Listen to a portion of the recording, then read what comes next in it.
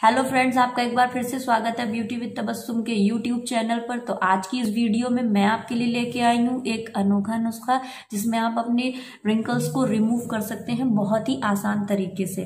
तो फ्रेंड्स, मैं आपको बताती हूँ कि इसमें आप रिंकल रिमूव के साथ अपनी स्किन को ग्लोइंग और शाइन भी दे देंगे।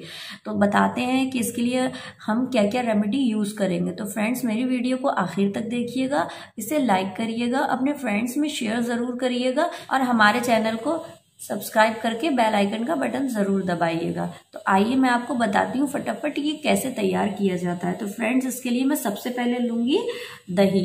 आ, दही आप मार्केट से मंगा लिएगा तो मैंने सबसे पहले ये दही लिया है। फ्रेंड्स दही में लैक्टिक एसिड होता है जो हमारी स्किन को बहुत ज़्यादा गोरा बनाने में मदद करता है और हमारी स्किन को मॉइस्चराइज करता है।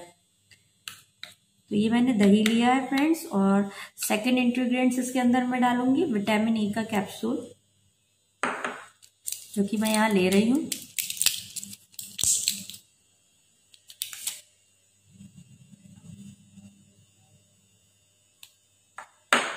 ये विटामिन ई e हमको इसमें मिला लेना है।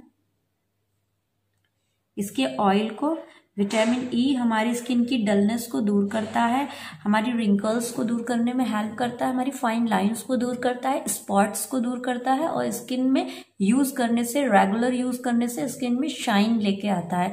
और स्किन की डेड सेल्स को दूर करके नई स्किन एकदम उसमें जवान और खूबसूरती पैदा कर देता है। एक आपको ऐसा लगेगा, ग्लो अंदर से आ रहा है। ये अंदर की स्किन की गंदगी को भी साफ़ करता है, जिसकी वजह से हमारी टैनिंग चली जाती है, जिसकी वजह से हमारी स्किन की जो डलनेस है वो चली जाती है और इसके साथ दही यूज़ करने से हमारी स्किन की ड्राइनेस भी चली जाएगी। रिंकल्स तो जाएगी जाएगी, बल्कि हमारी स्किन पे रिंकल्स जाने के साथ ग्लो आएगा और हमारी स्किन की डलनेस भी जाएगी और फाइन लाइंस भी जाएगी। तो ये मैं मिक्स कर लूँगी। फ्रेंड्स मैं आपको एक सब चीज़ और सजेस्ट करूँगी कि जिन बॉयज़ या गर्ल्स के फेस के ऊपर वो है पिंपल्स हैं तो वो टी ट्री ऑयल यूज़ कर सकते हैं। मैंने यहाँ पे थोड़ा सा ये टी ट्री ऑयल लिया है, ये आप इसमें मिला लेंगे। और अगर पिंपल्स नहीं है तो आप इस टी ट्री ऑयल को यूज़ नहीं करेंगे। ये उनके लिए रेमेडी तैयार हो रही है, जिनके रिंकल्स के साथ पिंपल्स भी आ जाते हैं। ये हमारा मिक्स हो गया है। एक अच्छा सा मिक्सअप तैयार हो गया है। हमें इसे, फ्रेंड्स, ये करना है कि लेना है। और अपनी स्किन पे इसको लगा लेना है, जैसे मैं यहाँ लगा रही हूँ। अपने फेस और नेक पर।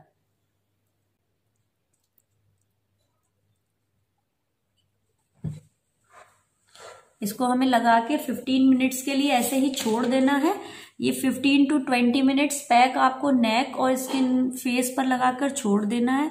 अगर आपने इसमें टी ट्री ऑयल यूज़ किया है तो आपकी पिंपल्स की प्रॉब्लम भी दूर हो जाएगी और जो पिंपल्स के निशान आ जाते हैं स्पॉट्स पड़ जाते हैं, वो भी दूर हो जाएँगे।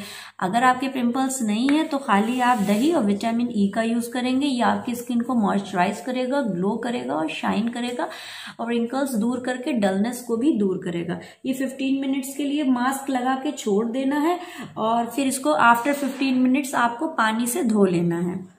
ठीक मैं यहाँ धो रही हूँ। कोल्ड वाटर से आपको इसको धो लेना है। ये एक बहुत सिंपल तरीका है रिंकल्स को दूर करने का और ड्राइनेस और डलनेस को दूर करने का। ये मैंने धो लिया है फ्रेंड्स और किसी कॉटन के कपड़े से आप अपनी स्किन को पोछ लिएगा। आप देखेंगे कि स्किन में आपको ड्राइनेस नहीं नज़र आएगी। मैं आपको एक टेस्ट करके दिखाती हूँ। ये देखिए, अगर मेरी स्किन ड्राई होती तो ये इसमें निशान आ जाता वाइट वाइट क्योंकि सिर्फ़ मैंने थोड़ा ही यूज़ किया है तो मेरी स्किन की ड्राइनेस चली गई आप इस मास्क को डेली यूज़ कर सकते हैं। विंटर में तो आप इसे डेली ही यूज़ करिए, अगर टाइम नहीं है तो वीक में आप टू टाइम्स तो यूज़ कर ही लीजिए। ये आपकी स्किन को फ्रेंड्स स्मूथ बनाएगा, आपकी स्किन की ड्राइनेस को दूर करेगा और आपकी स्किन के लिए बहुत बेस्ट मास्क है। तो मेरा वीडियो आपको अच्छा लगा हो तो लाइक करिए शेयर करिए सब्सक्राइब कर